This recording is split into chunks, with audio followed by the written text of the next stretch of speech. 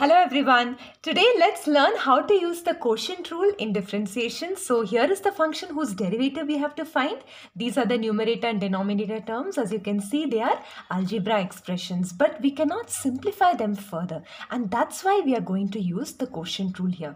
Now before we use the rule let's denote the numerator by the letter u and the denominator by the letter v. So the quotient rule states that the derivative that is f prime or f dash of x is nothing but v multiplied by the derivative of u minus u multiplied by the derivative of v divided by v square. That's it. It's very easy friends. Now we already know what are the u and v values, right? u we took it as x minus 5, v as x cube plus 1.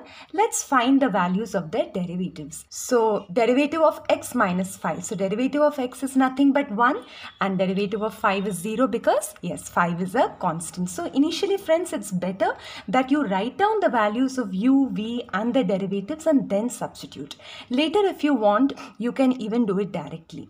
Now let's find the derivative of v. So x cube, the derivative will be, yes, 3x square and derivative of 1 is anyways 0. That's it. We have got all the values. So let's substitute it here the derivative is nothing but v. So v is nothing but x cube plus 1. Very carefully substituted friends. Don't get confused into the derivative of u which is 1 minus u. u is x minus 5 derivative of v over here divided by v square which is x cube plus 1 the whole square. And easy to remember also friends. Just write the denominator multiplied by the derivative of the numerator minus numerator multiplied by derivative of denominator divided by the square of denominator. Very easy to remember the formula also. Now in this step itself we have got the derivative. We have got the answer but we have to simplify it little bit further. So let's open up the brackets here yes I will get 3x cube minus 15x square divided by just keep the denominator as it is. Now I think further I can bring the minus inside. So let's do that. Yes. Did you see that there is x cube x cube these are like terms. So what I can definitely do is subtract them. So I'll get minus 2x cube plus 15x square plus 1 divided by Yes, this is the denominator. Nothing further can be done. So this is the derivative. So in this second example, we have an exponential expression and an algebra expression. So let's see, here you have a numerator and denominator which we cannot simplify further. So we have to use the quotient rule. So let's write the values of u and v over here.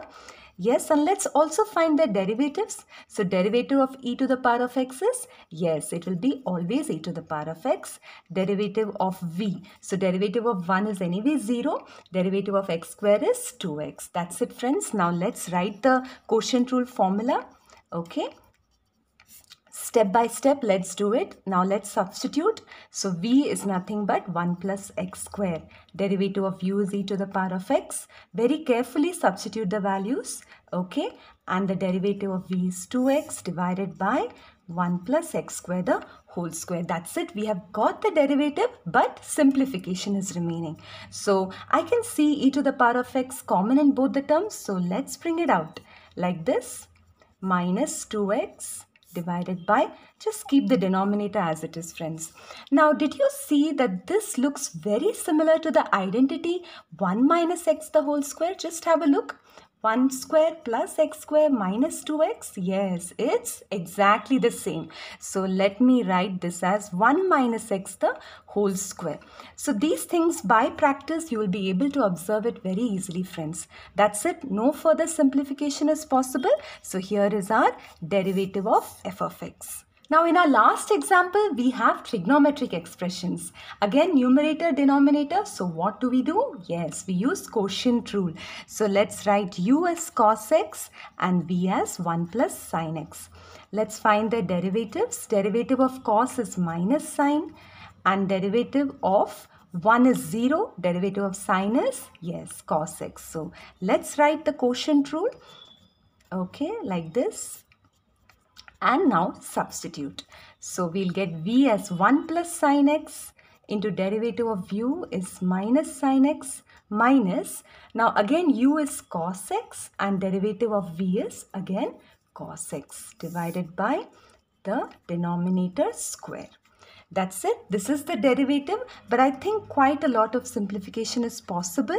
So let me just open up the brackets and see what happens. Okay, yes, I can already see sine square x and cos square x, friends. So do you recall that sine square x plus cos square x? Yes, it's equal to 1. So I think when we take out the minus sign, we will get, yes, sine square x plus cos square x. So this way you have to keep looking for patterns. Now I can write 1 here. Okay, once again I can take the minus common, see? And yes, 1 plus sine x is there in the numerator and denominator. So let's cut out 1 and then we'll get minus 1 upon sine x plus 1. This is the derivative of f of x.